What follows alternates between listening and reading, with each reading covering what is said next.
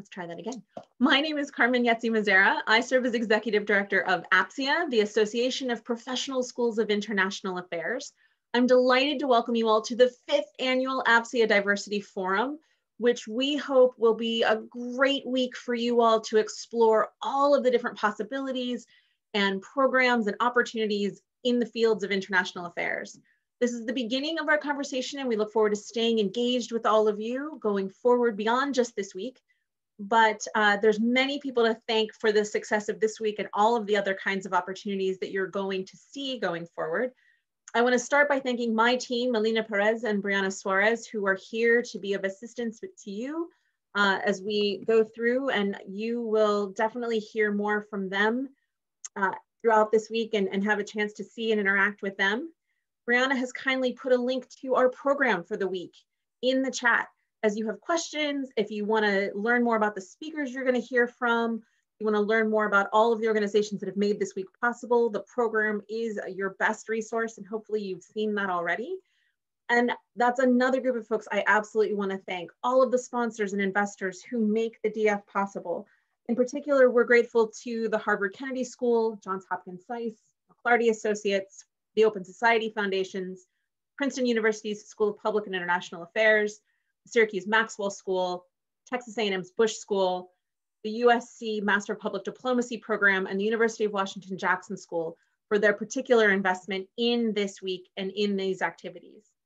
Before I turn the floor over to Dr. Natascha Saunders, I want to let all of you know that we do hope this will be a great chance for you to get those questions answered so as you have them, put them in the chat and we'll, we'll unpack them as we go. I also want to invite anyone who might need some special accommodation uh, for, for different needs to reach out to us by whatever means are, are useful to you, whether it's email or DM, uh, to let us know how we can make sure this event is as accessible as it can be. So with that, I'm going to turn the floor over to Dr. Saunders and we'll jump in and hear from our wonderful speakers. Thanks everyone, take care. Thank you. So, hello everyone. Can I get either a thumbs up, a clap, something in the chat so that I know you all are there. You're ready to listen to our amazing panelists. Yes. Okay. I'm excited. I see I see all the thumbs up and the hands clapping.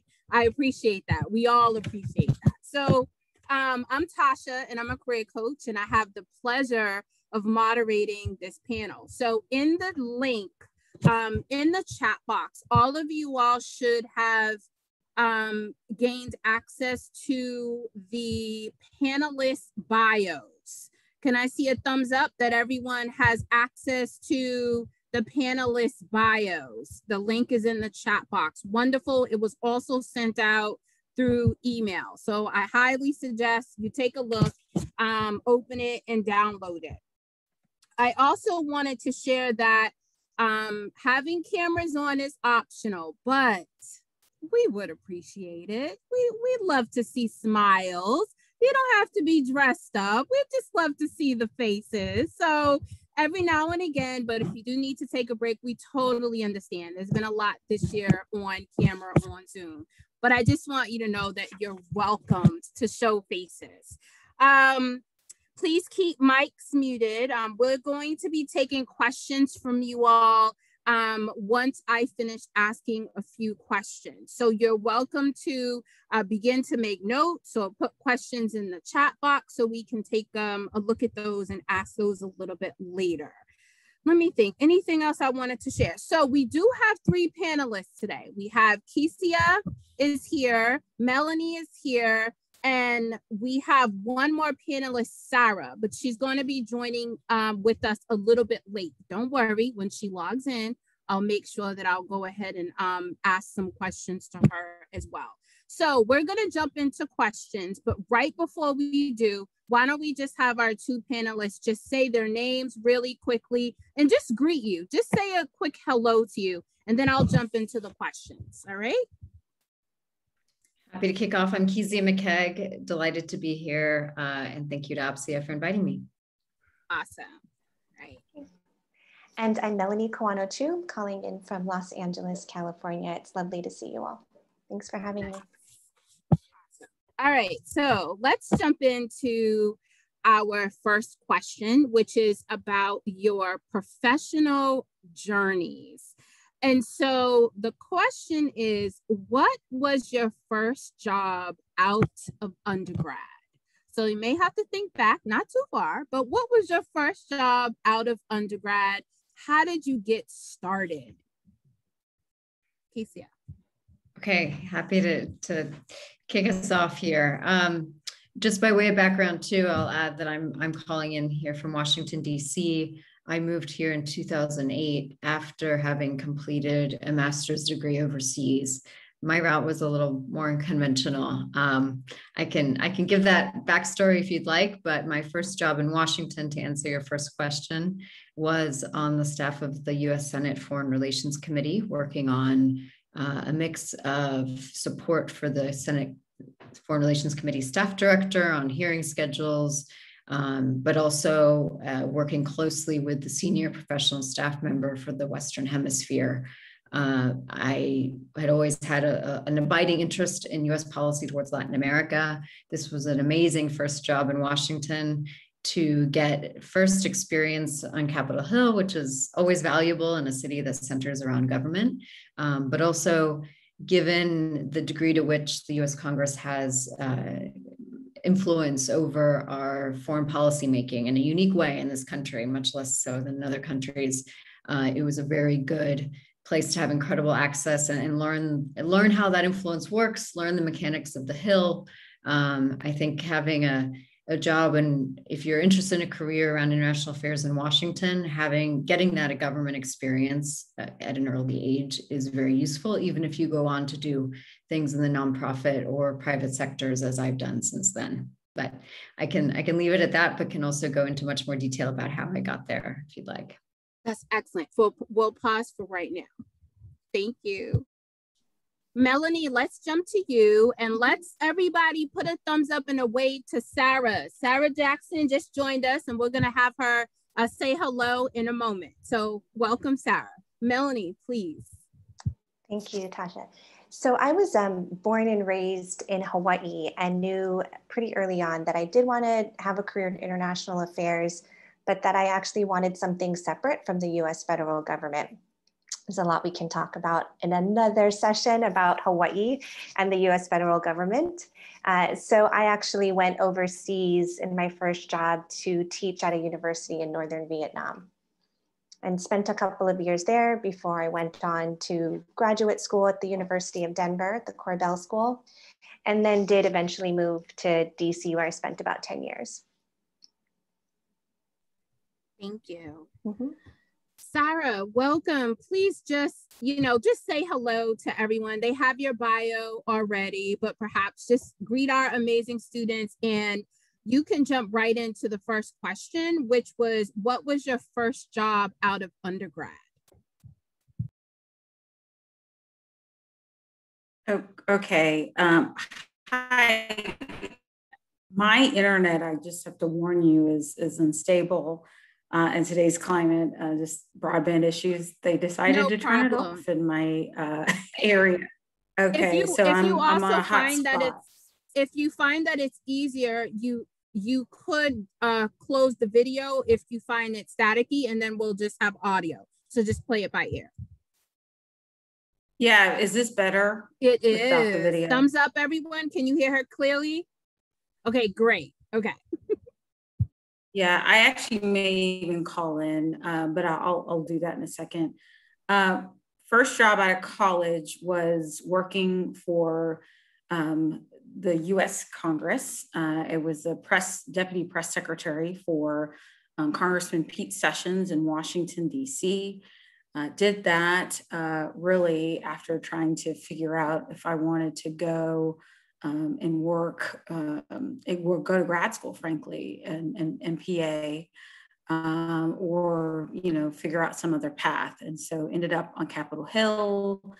Shortly after, got a presidential appointment to uh, uh, the US State Department and Public Affairs. And so sort of the rest of my journey. And so it, it wasn't really clear. Um, I've learned a lot in those, mm, almost been like over 20 years, I guess.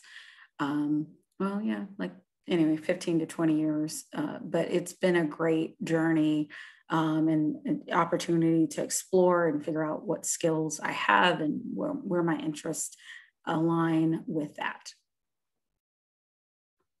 excellent thank you sarah so um, along those lines of a question that came up was about what do you wish you had done? Now that could go in in a lot of different directions. It could be what do you wish you had done when you taken your first position? Or is there something within your career that you felt like you've been missing that you wish you would have taken a pivot so you can take that question in either direction but i'm going to also throw one more caveat in there a lot of students often ask us about getting to the hill I want to get on the hill. How do I do that? So, if you could add a little bit of more detail about that journey, I think that would be really helpful as well.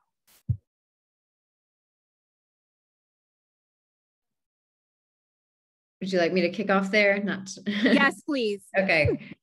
Uh, let's see. Um, to be honest, I don't have any regrets on in how my career evolved. Um, and also, to be honest, I never had a grand five, 10 year, 20 year plan. I followed my interests, and opportunities fortunately arose um, to meet those interests. Um, in fact, apart from that first job in Washington, which I actively searched for, and my advice for everybody who wants, probably particularly in Washington, D.C., but anywhere you're looking, um, is to do informational interviews. I spent probably two months doing informational interviews with, uh, starting off with a couple of alumni from my undergrad alma mater, but grew that network grew exponentially the more people I talked to. And those informational interviews are not about asking for a job, but rather to learn about opportunities you may have never even heard of, to get advice, to um, more than anything, have people um, keep you on their radar so that when there is a job opening, they contact you. Uh, that certainly worked in my favor. I had three job options to choose from. As I said, I ended up going with the Senate Foreign Relations Committee job opportunity in order to gain government experience. Um, but uh, going forward, my two subsequent jobs in Washington um, were the result of people coming to me and recruiting me just based on my own reputation. Um, so that that's often how the work world, including in foreign policy and international affairs, works in, in at least DC. Um, but that first job on the Hill, like I said, it was it, I, I, in some ways I was lucky. I was there the right place at the right time, just when there was an opening on the committee staff, which is a rare occurrence. Um, and I, I got there because I had an informational interview with a contact of mine, and they did not advertise for that job. Um, that's often the case. Um, uh, for other people who want to work on the Hill, I say um, just talk to as many people as you can, identify both the committees and the personal offices of members you would be interested in working for, and, and making sure you have some kind of personal connection. Um, that is in contrast to the other ways to work for the US government, the executive branch, which is very, very different. And we can also get into this. I, at one point, did all of the exams for the US Foreign Service. I passed them. I got invited to join an incoming class of Foreign Service officers, but that was when I was already at my current job and really enjoying it. So I decided to turn that down. But I do know that process very well.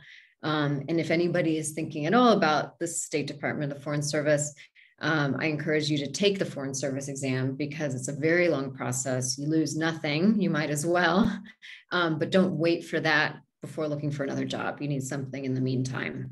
Um, the other route is through civil service, which, to be honest, I, many of my friends are, are civil servants in the US government, particularly the State Department the best route for that is is really through what's called the presidential management fellowship. If you're in graduate school you probably know about this. You apply for it in your last year of graduate school and it's a great program to enter the us federal government. You choose a home agency you have two years you do rotations in other agencies and often it turns into a job somewhere else.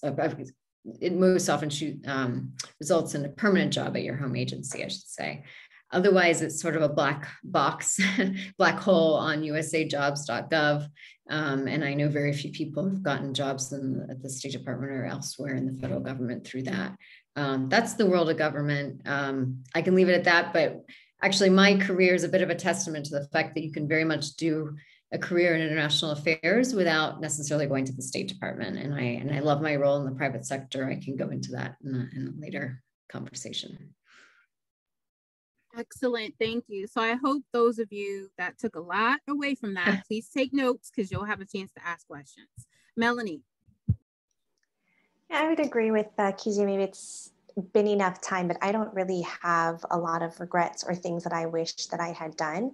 Um, if you are interested in a job in international development in particular, and you're thinking about it from um, working for a large INGO, an international um, non-governmental organization, then you want to think about getting overseas as quickly as possible, which is what I did in some form. It's um, a hard cycle to jump into where you need past experience overseas, but who's going to hire you without it?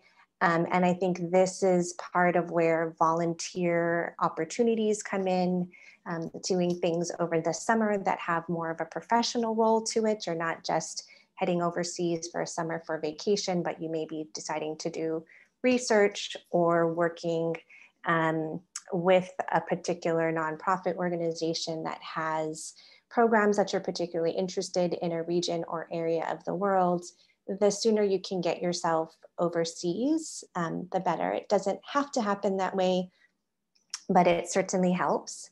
Um, I would also say not having done a ton myself in or any really working for the federal government i do know that there are a number of fellowship opportunities. If you're thinking about grad school and you're a person from an underrepresented community you can apply for instance i think the pickering fellowship just opened so that's at the state department. They will pay for your graduate school with a commitment that you will then go into the state department and serve. Um, Yes, thanks for that chat, that link. I think that um, application process just opened like a week or two ago. And that you will find many people of color in the State Department were Pickering Fellows. And so if you are have a, a contact within the State Department or know someone, um, you can ask for those informational interviews that are really key. Um, and there are particular things in that particular fellowship that are critical to think about. And I would say um, just affinity networks in general. Um, this is a great time, honestly. There are a lot of affinity networks out there for people of color in evaluation, for people of color in philanthropy. Um, if you're focused in a particular part of the world and you're a person of color underrepresented, there's likely an affinity group for you where there's a pipeline of people who have been through um, these sort of career things, wish they had known, and there's an entire network for it. So I was um, at the University of Denver. My job at the while during grad school was to work with one of these um, mentorship programs. It's called International Career Advancement Program. Um, they work out of uh, the Aspen Institute, the Center for International Studies, which is based in DC, and the Center for Foreign Relations, really thinking about the whole pipeline of how do underrepresented groups make both US foreign policy and international affairs reflect the diversity and the strengths of the US population overseas. Thank you, Melanie. Sarah, um, any thoughts on what you wish you had done um, throughout your career and or any thoughts about how you landed your opportunity um, to be on the Hill? Yeah, no, I uh, appreciate the question. The short answer is no. I mean, I think uh, there are no regrets. Uh, I think sometimes, you know, we we kind of look back and say, oh, if I would have taken that job, um, there are a couple of those junctures I will admit in my career. There's an opportunity to work with a US senator uh, who would eventually uh, be a candidate for president. I wondered if, if I should have taken that juncture because he got really close to winning. Um, but all that being said, I think I uh, took all the right, made all the right moves, ended up where I needed to be. My time on the Hill, I, you know, much like the other women have described, you know, between the Hill, uh, the State Department, and then I would go on to work in the area of Washington called K Street. I think it's great for people in this field, um, you know, the field of public administration, public policy, communications, to look at those careers. Uh, I think sometimes people think, oh, I can only, you know, go into a, a U.S. federal agency as a civil servant. Uh, but as uh, uh, was saying earlier, there are opportunities. Like I was a, a presidential appointee uh, to go in and, and do a, a number of different things. Obviously the hill is great because you're in the middle of a lot of things. Uh, you meet the people you meet on the hill end up becoming candidates for office one day uh, sometimes presidents uh, and uh, chiefs of staff to the president. I mean you the people you meet on the hill especially if you go to uh, capitol hill right after grad school um, it's a great time um, you don't hopefully have too many responsibilities and so you can make very little money, uh, work a lot, and meet a lot of people in the evening and during the day. And uh, those relationships will, frankly, go with you through the course of your life. Uh, and you will just learn a ton. Uh, the Hill is where a lot of ideas get baked. Um, it's where a lot of things also get stopped. so you will have stories to tell, I think, for years and, and meet the people who are really going to make things happen or who are making things happen awesome. Thank you, Sarah. So um, a few more questions before we open it up. And the first is about what do you value about your current organization? What are some of the things you value about the current organization that you work for? And after you answer that question, I'm going to come back around and we're going to hopefully talk about skills and what are some of the skills that you recommend this new generation of leaders that are in school now or recently graduating, what skills should they be sure that they have um, in their toolkit? So the first question is about what do you value about your current organization? Well, if I kick off here, by way of background, I work on uh, the Latin America team at an international strategic advisory firm. It's called McLarty Associates. It was founded more than 20 years ago.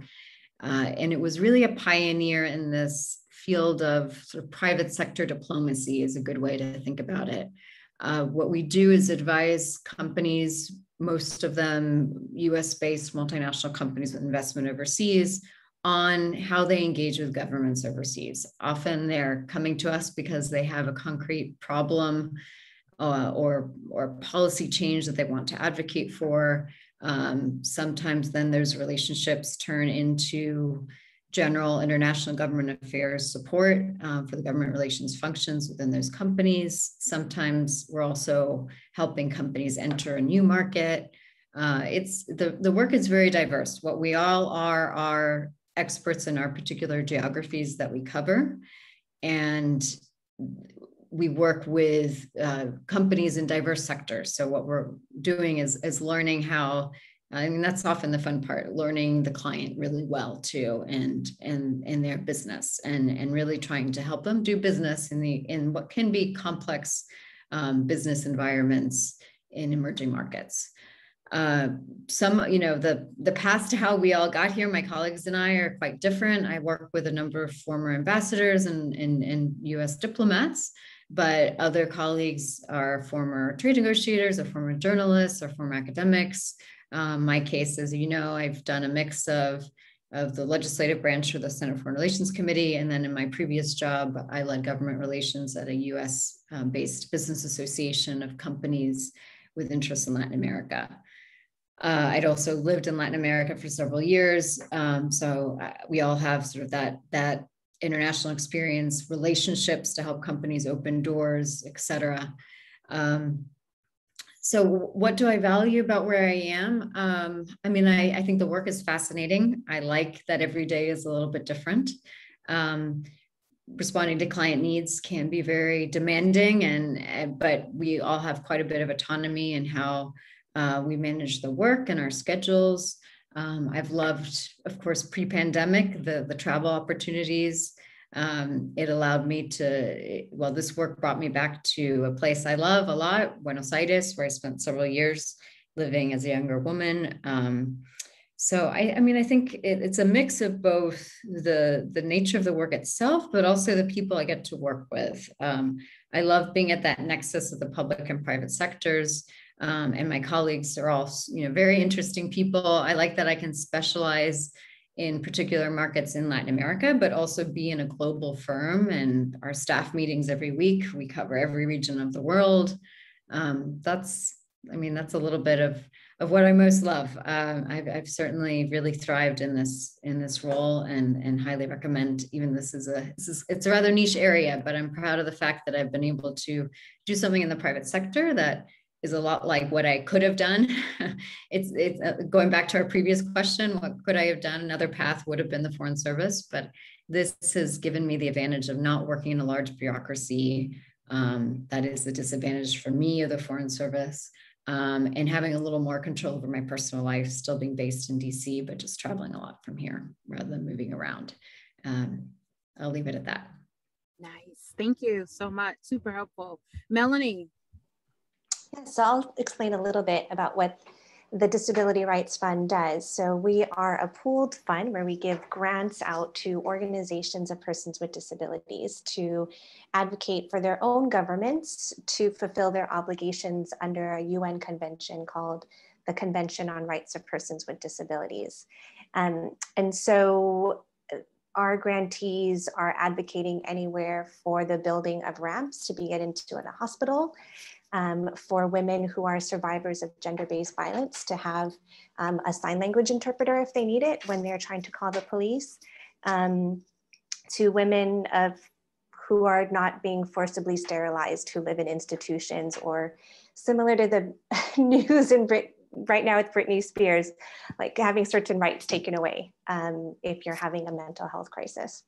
So um, I value this, the organization I work for, for a number of reasons. It's a rights-based perspective on disability. And so it doesn't require medical diagnosis to understand that there may be social and structural barriers to the way that people engage with the world because they may have neurodiversity, a physical difference, um, or um, have an intellectual disability.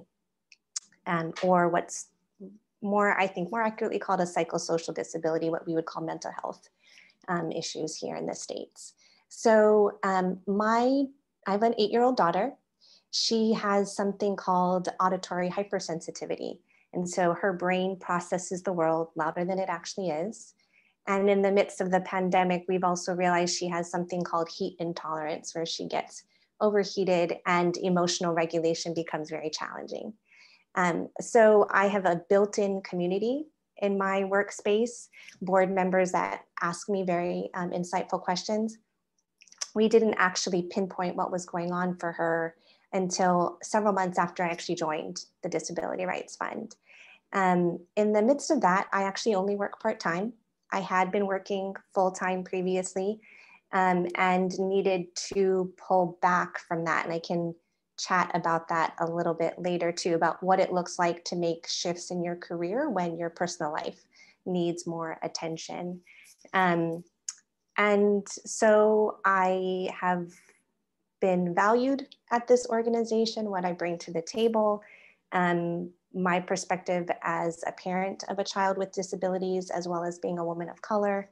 Um, and in the midst of that, it hasn't stopped um, my career path and growth within the organization. Um, and that's continuing to grow, even though I have constraints on my time, will not work more than 30 hours a week, and do not want to be supervising more than two people, which is, can be very challenging the um, higher up you go in your career. You will add responsibilities as your title grows, um, but there can be, again, constraints that need to be worked around. And the organization I work for understands those constraints and allows me to be flexible. Thank you for sharing that, Melanie. Very insightful. Um, Sarah, any thoughts on what you value about your current organization, your current role?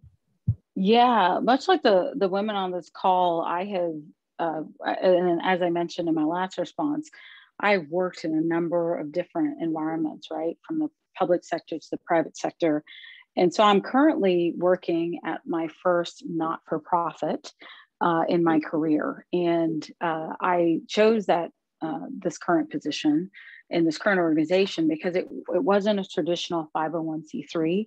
We're actually a 501c6. So we are, it's the same designation that a lot of associations and chambers of commerce have. And it's a bit different. It's almost like a hybrid private public. So if you're someone who's thinking about, oh, I want to work for an organization that's cause oriented, but I don't necessarily want, want to work for an organization that's just cause uh, all it does is sort of cause advocacy, then a 501c6 or um, uh, an organization like that is a good hybrid. Um, we are a business organization. We've been around since 1937. So I value our tradition, but I also value the uh, move towards more diversity uh, in our community. So having a business group that reflects our community and the work. And so the Citizens Council, unlike the Chamber of Commerce and commerces in the area, really focuses on these high level infrastructure strategic initiatives that keep the city of Dallas moving along at strategic points in time.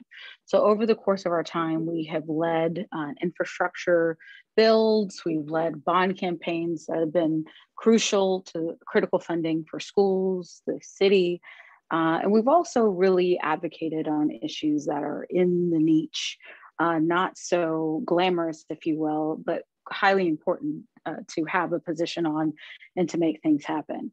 And so I value the diversity of the work I do. I do public affairs, so a bit broader, um, work in policy and uh, communications and community engagement.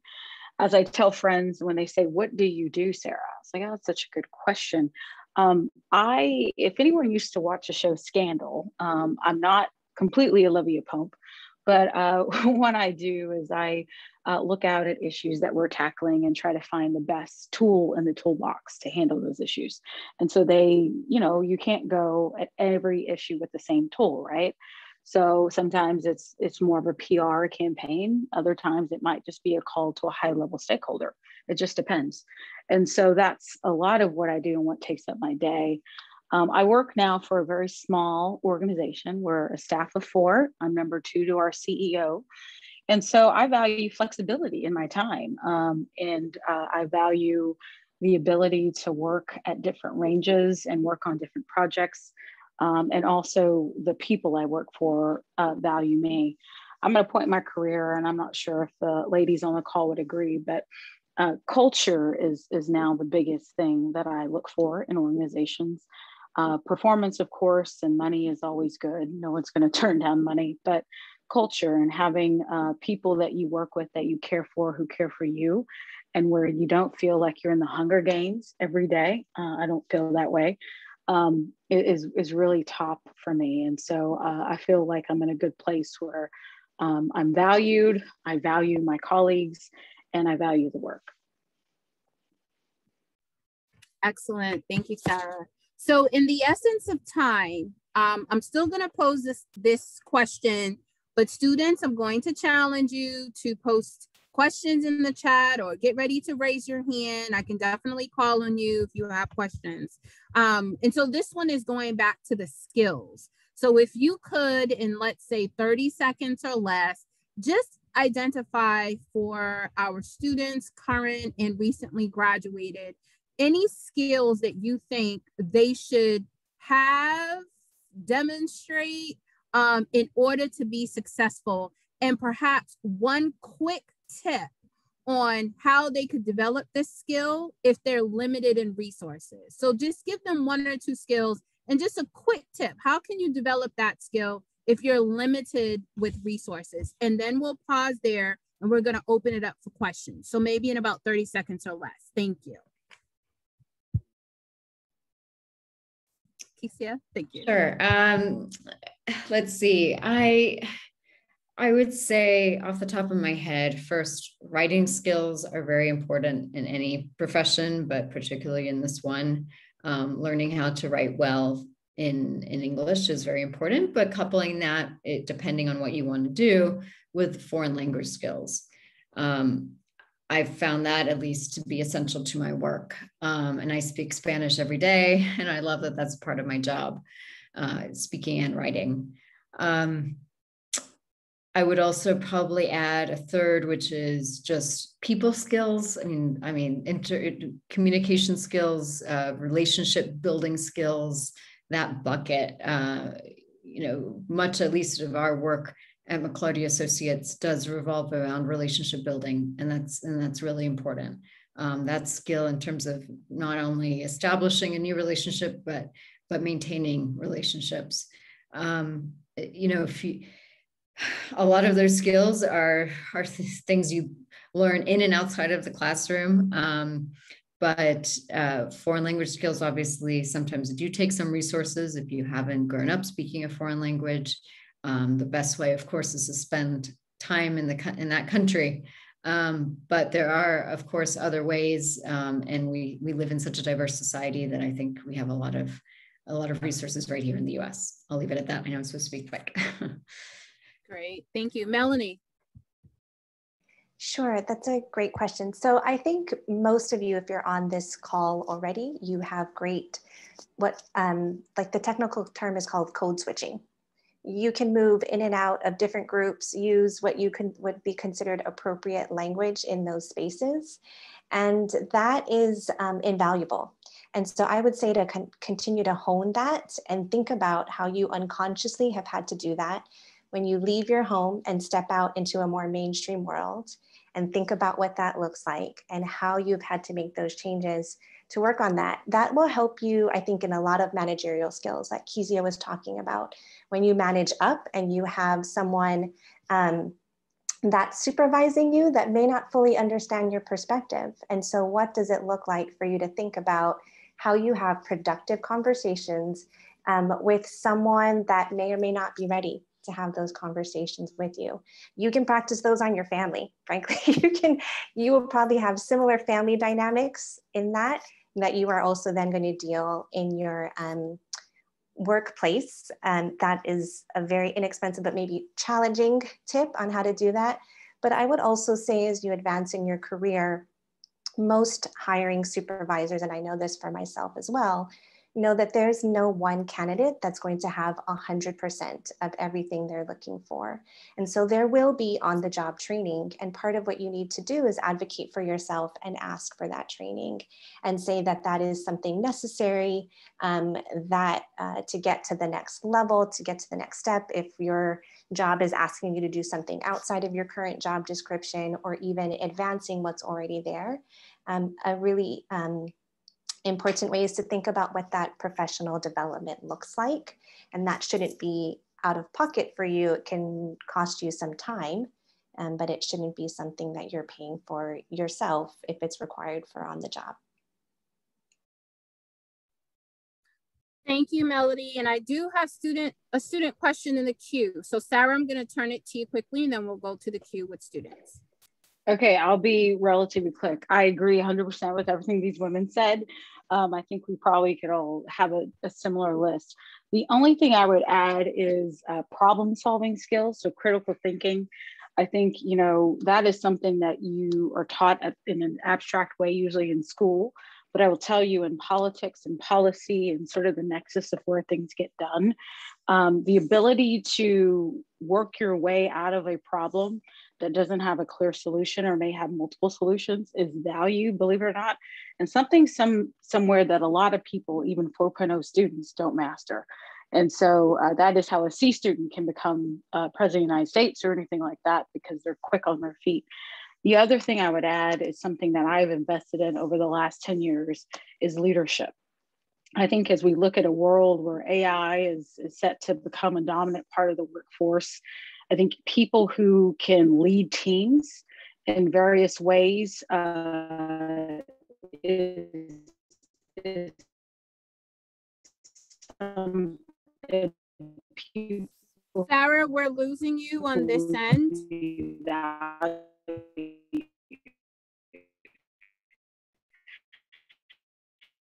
Okay, we're gonna pause because we lost Sarah. However, I think Sarah, if you're, you're there, wondering how to you. get that, I know a lot of ship certification. Okay, can you hear me or no? Hello? I'm still here. Can you hear me? Yes, we heard you. Um, you had mentioned critical thinking, problem solving, and leadership. So we'll pause there and I'll jump into the students. If that was that the answer? Uh, that was, and I just mentioned Okay. the how, which was, you know, in a lot of policy schools where folks on this call have been to, like the Bush School had a certification program. I'd also recommend as people advance in their career, they look at Presidential Leadership Scholars Program. I'm also a, Marshall Memorial Fellow, um, which not only helps you learn skills from top leaders in the world, um, but also gain a network of leaders that um, can be quite helpful to you as you advance in your career. And that is it, Natascha. Thank you so much. No, thank you. Thank you. Thanks for sticking with us, by the way. And thank you all for your patience and flexibility with technology with our panelists. We're very excited that all of you have stayed on. So we're going to open for questions. And Erin, I see your hand up. We you are second in the queue. I'm gonna ask just one person to answer the question, okay? Um, and then we can always roll back later. So this first question that came in is from the chat, and then I'll go over to the students that have raised their hands. It's about techniques, tips, advice for the Department of State interviews. So if anyone has been through a Department of State interview, a quick technique or tip that you could leave with a student.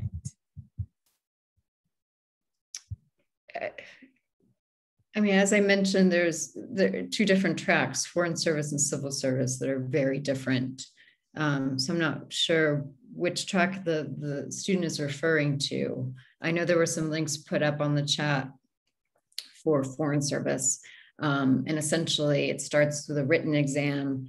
Uh, once you pass the written test, you go on to uh, write several essays. Once you pass that second step, it's an oral assessment of a day. Um, that oral assessment does include one component that's like an interview, like a traditional interview, um, but it also has uh, a group exercise and it has a written exercise. Um, it's a whole day affair. Um, there's a lot of information available online about this. To be honest, it's not test testing substantive knowledge, but rather um, a set of sort of critical thinking skills that the and the State Department publishes the criteria on which they judge you um, for this oral assessment. Um, the written test does doesn't really test substantive knowledge either, to be honest. Um, it's it, except for some history and geography and, and basic background. Um, it there's also just an English writing section. Um, that the oral assessment, the way you can best prepare for it is to go to a um, the State Department offers sessions to prep for it and to understand. You do need to understand exactly what you're getting into that day, how you will be judged. Um, but it's not like you need to be cramming substantive knowledge. You need to, if you can, practice that group session because it has some unique characteristics. Um, but that that's essentially how it works. Then once you pass that oral assessment, it does take longer. This entire process is a very long one. You are then put on, um, well, then you first need your security clearance and your medical clearance. And then once all of that is done, you're put on a register and your rank on that register is based on your score on that oral assessment. So the oral assessment also dictates how quickly you may get an invitation to join an incoming class of foreign service officers. And it just depends on the needs of the State Department, how many people they invite in a given year. You have two years to be on that list. And if you are too far down on the bottom of the list and they don't have enough spots open up, you may never even get an invitation to join. Um, so it is, like I said, a, a, very long process, but I encourage anybody who's interested to take it because you can take it as many times as you want. And many people end up taking it multiple times. So you don't lose anything and it's, it's just, it's good practice. That's what I would say. I don't know if any of my other panelists would have something to add on that. Thank you, Kezia. We are down to about 10 minutes and we got a lot of questions. So that's always a good thing. Um, I want to turn to um, before we jump into Melanie is going to provide an answer when it comes to math and statistics, but Erin had her hand raised first. So can we jump to Erin and then we'll we'll keep it going. Erin, you can unmute and ask your question. And if I've mispronounced your name, please correct me. Thank you so much. My name is Erin, and I'm very happy to be here. Thank you to the panelists and also the moderator, and also APSIA for hosting this event. I just wanted to ask, um, I've noticed that there's an ongoing shift in the job market where there's less emphasis on master's or advanced degrees and more on skills. So my question to the panelists is, how has an advanced degree benefited you? And do you still deem it necessary for people who are looking to go into a career in foreign affairs? Um, I'll take it and uh, I'll I have a somewhat of a controversial answer. Can y'all hear me, Natascha? Yeah, um, yeah, yes, so, you're perfect. Okay, just call me out if I'm not. Uh, I'll be as brief. And Erin, if you'd like more information, just just reach out to me on LinkedIn. Um, in short, I got my degree probably about, uh, I think I'd been working about 10 years. And so I did it after having gained work experience and uh, in that sort of nexus between sort of pivoting in my career. I will tell you the job I got after uh, I had my master's in uh, public service and administration, they didn't hire me because of the degree. They hired me um, because of my connections, my network, and my experience prior to uh, getting the degree. But I've told people that the degree helped me better do the job. Um, I do think there is that push. I'm glad you've seen that. Um, you know, as we've already said in this panel, your network, your relationships, how you manage those really is, it becomes this currency that allows you to move between jobs I still want to be hopeful that having a master's degree is insurance for the world that lies ahead because so many of us will have degrees beyond bachelor's. And so, uh, and I think degrees like MBAs and JDs and MDs, I think are still going to be valued because they're so technical. Um, but I do think if you're kind of hoping to get a degree to get a job, um, the degree won't necessarily get you the job, in my opinion. But I think it will be good for you to have and for your own education long term. Thank you so much, Sarah. And I'm definitely looking forward to connecting on LinkedIn as well. Thank you, Sarah. Thank you, Erin, for your great question. Melanie, please, there was a question in the chat regarding math, statistics in your careers, and this person having a journalism background. Just any quick thoughts on that? Sure. So that's a great question, Alicia. Um, I hope I pronounced your name right. And I myself, I work as in the field of evaluation. So I do a lot of statistical analysis. I basically answer the question, how do we know the money that was invested was worthwhile? So when I was in the peace building field, I was managing a conflict prevention project um, in West Africa, and our donor wanted to know did he prevent a war? Did his $6 million prevent a war? right. So, those are challenging questions to ask. And I think math skills will allow you to um, think about different analysis, uh, think through. Um, those particular pieces of what's valuable and what do numbers actually mean and what do they actually represent and what do they don't what don't they represent and if you get further along in your career, um, there will need to be basic budgeting and depending on who you work for, if you submit proposals and putting those things together and thinking about how to put your organizations or at least understand when someone presents you with how much money they're going to be providing for a particular project that you are managing or working on, it's helpful to understand those spreadsheets and the information that's being provided to you in any field um, because funding is important in any field, whether you're working for the government or a nonprofit or a foundation. Wonderful. Thank you, Melanie. Um, Billy, you're up, and then we're going to go back to the chat box. Um, Melina asked a question about failure. We're going to go to her question. Um, but Billy, you're up. Melina's next, and we'll keep going. um, so I graduated in in 2019 and like my degree was in a different field than international affairs so like um my idea was to like hopefully get into like the peace corps or like the fulbright the English teaching assistant program um, to like break into this field. But like, what happens if like I don't get in like accepted into those two programs? Like, like what else could I do though?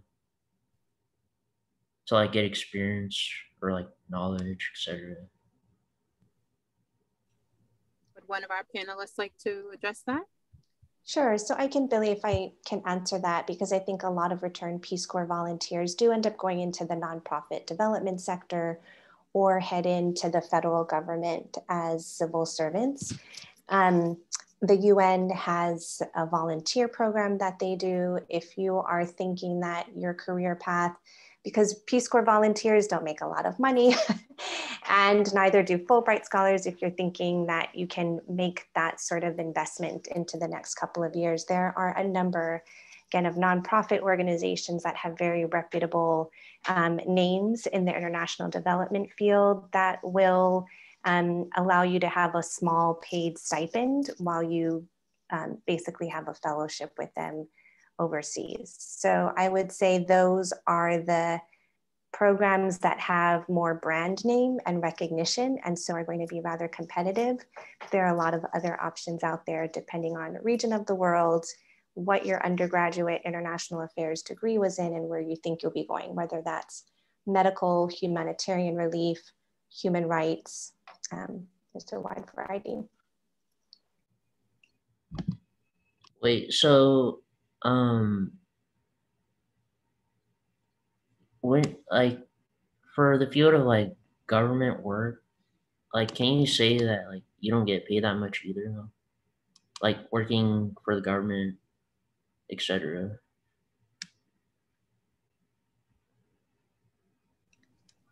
I think it depends, right? So it's it's varied, and maybe Kezia and Sarah can jump in as well. Um, but I would say most entry level positions in any field um, that, unless you're going into the private sector or consulting, banking, um, you are starting off at a lower pay grade. Yeah. Um, so Kezia, do you want to? No, that's that's right. Absolutely. Mm -hmm. And then it just becomes relative you know, what is a lot to you and what is a lot to someone else, maybe two completely separate things.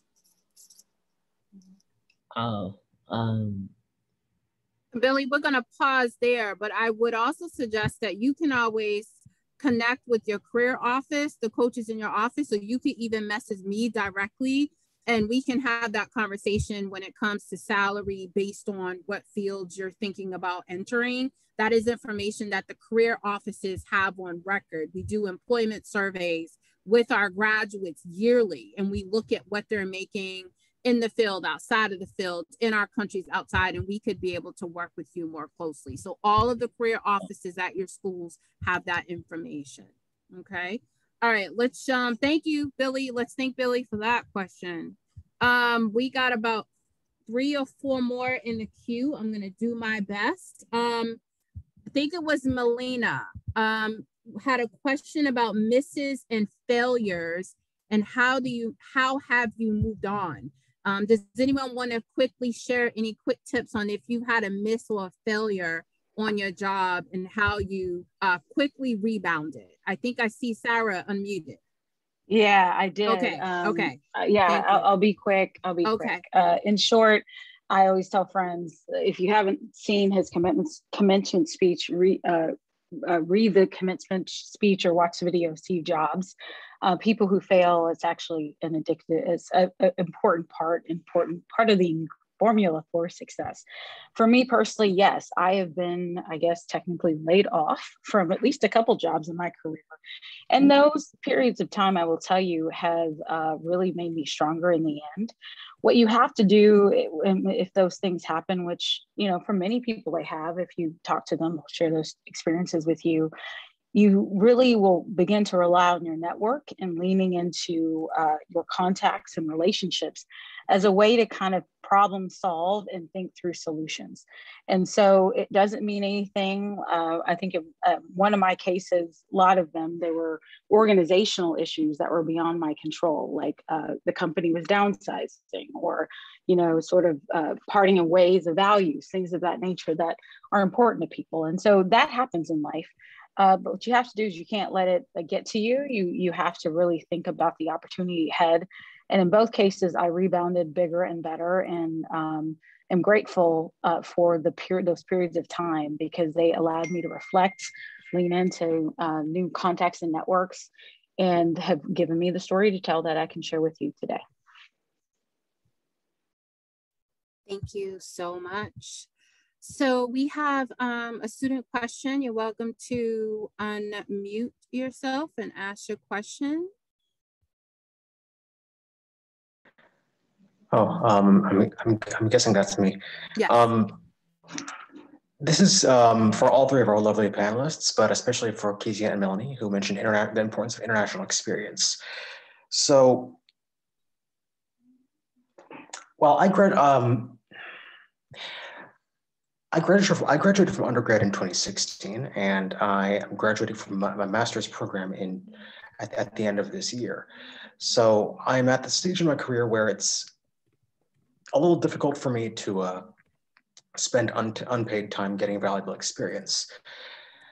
How do I, but you've said essentially that international experience is more or less essential. How can I gain, how can I gain such, how can I gain such experience on the job or, or, or quickly enough for it to be, for me, for me to be able to transition into my, my first position in this field?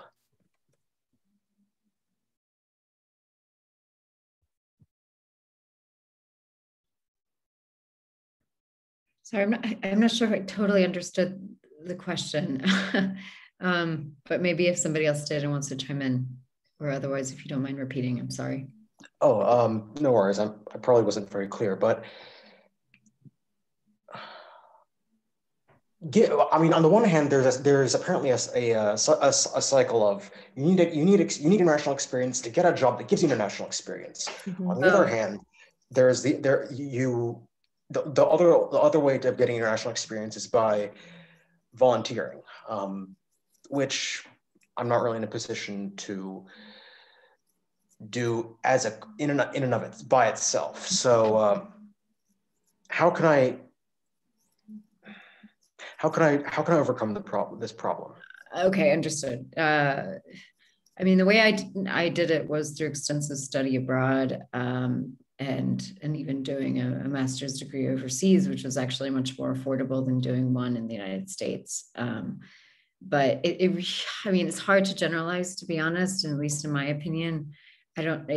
I would need to have a better sense of what you want to do, and within the very broad field of international affairs, there's so many different directions you could take.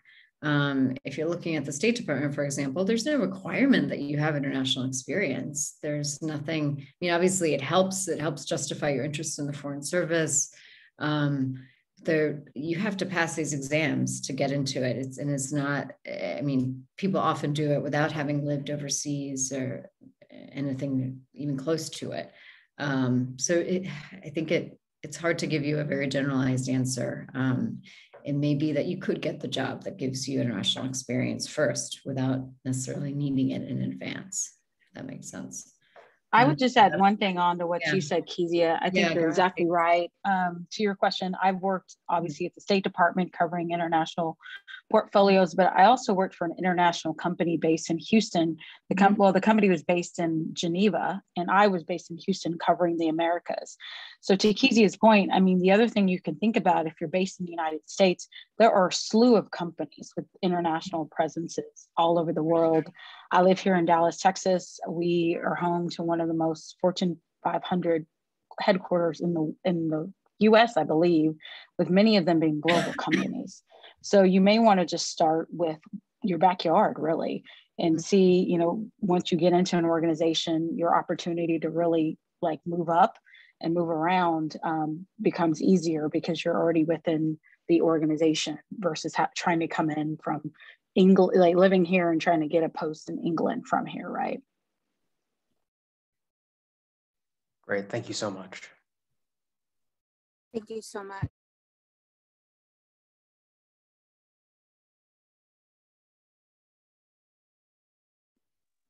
Okay, we have a we have another student question. Um, and then after this question, we're gonna pause because I need to check in everyone with our panelists because we were scheduled to end at 4 p.m. and I wanna be mindful of their time as well.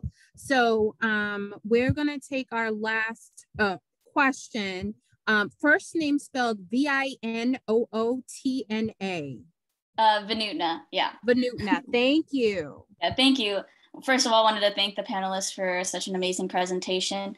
Uh, really appreciated it. So I am a current undergrad, or actually I just graduated from undergrad a couple months ago and was wondering a little bit about differentiating between the public and private sectors, or as a recent grad, what would you like, what are the pros and cons, or what would you suggest? And obviously I can connect with you all later for a better, uh, more, um, I guess, specific answer, but just kind of wondering about differentiation and like some ideas for a recent grad looking for a job right now in either.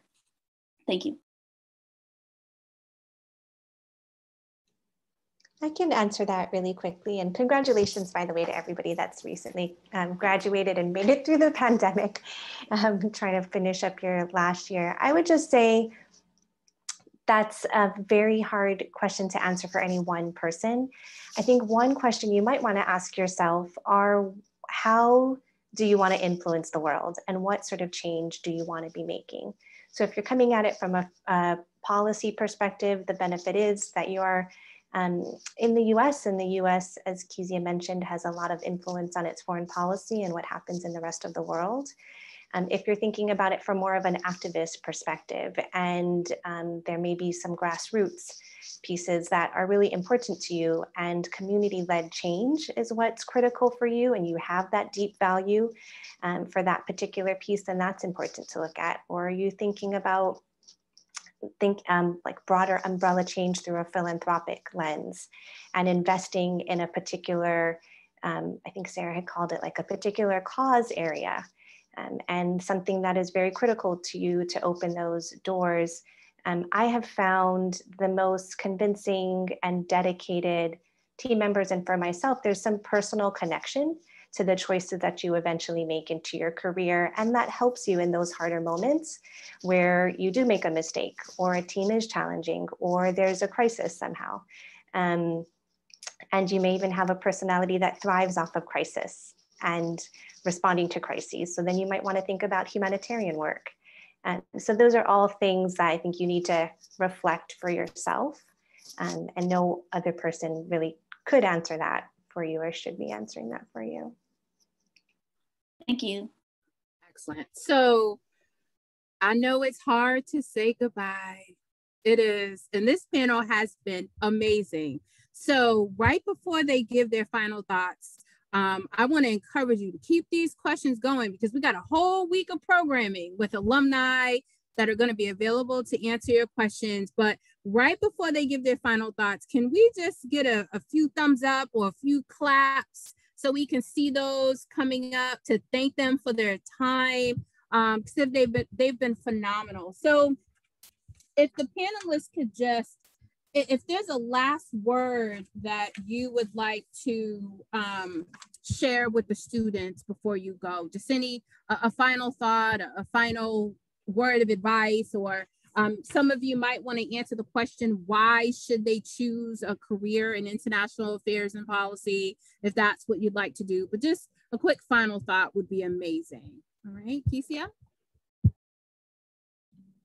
Just, uh, I think, no, this has been a great conversation. I really enjoyed everybody else's thoughts. Um, I think something we talked about with Kadima at the very beginning that just keep in mind that careers in international affairs are very broad and diverse. Um, we've I've talked quite a bit about the option of being a U.S. diplomat, but there are so many other opportunities, and I think my own career has um, is a testament to that. Um, and so, just if to the extent that you can take advantage of opportunities like these, to the extent that you can speak with people from your alma mater who are doing cool things, um, really leveraging your networks to learn about the wealth of opportunities that are out there. Um, there's just, there's more than at least I knew about when I first started out on this track.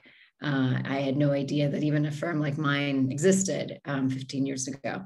Um, so there's there's more variety of opportunities out there than you think, and the the more informational interviews you can do, the more panels like this you can do, the more informed you'll be. Thank you again. Thank you. Uh, Melanie. Thank you. Um, you know, I would just say more in terms of self-care and how you folks are doing this. If you're thinking about graduate school applications, job applications, those are challenging things and there will be honestly rejection that comes with it. You won't get 100% yeses. Um, and there needs to be built in some boundaries for yourself. Applying for a job 40 hours a week is not going to be helpful for you and your own mental health um, and your own life and how well you're doing and what, how you're able to bring yourself into interviews if you get to that stage. And so I just give advice to say that um, you will have a path in your life and it will be yours. And um, it will be something that you can embrace for yourself to what Kezia is saying. There are many different ways to, um, to care for yourself and for your family and to think about how you sustain yourself through a career. Excellent. Thank you, Melanie. Sarah, final thoughts. Yeah, no, I, I again echo everything these women have said. Um, there is no right way. I mean, I think the first thing everybody on this call just needs to be aware of many graduates leave school thinking there's some path and everything is set out ABC, and it's not. Um, all of us who have achieved success in our life have been through interesting roads where, as Melanie described, there's a balance between your personal and professional uh, health and well-being. And so it, it is not it's not written in stone. And so what you've got to do is just frankly start living and start trying out things that align with your passion and your professional uh, interest and your skills. The other thing I would say is, is really truly become a student of life. Um, I've traveled to all seven continents. I continue to travel. I've been to about 37 or 38 states, uh, about 25, 26 countries. I live, I learn. Uh, it's those cultures, those connections that frankly become uh, the currency of, of that and that help you move along. Um, there's lots of opportunities and soft skills, frankly, are more valuable than you may realize. Many of you are technical uh, geniuses, I'm sure, uh, but make sure you're also taking time to build the soft skills because those are quite valuable and unique as you will find out in the workplace. Thank you. And so to APSIA, thank you. I want to thank the speakers. We want to thank the speakers for being here. Attendees, this is when we will need your expertise, so don't leave us just yet. A survey evaluation poll is going to pop up on the screens, and we really need your feedback. So please just take a moment and complete this survey, um, if you will. We also want to remind you not to miss the Tuesday sessions and open chat with alumni and a session coming up on building the confidence to compete for opportunities. Building the confidence to compete for opportunities. So please participate in all the programs this week. And thank you all once again and enjoy the rest of your day.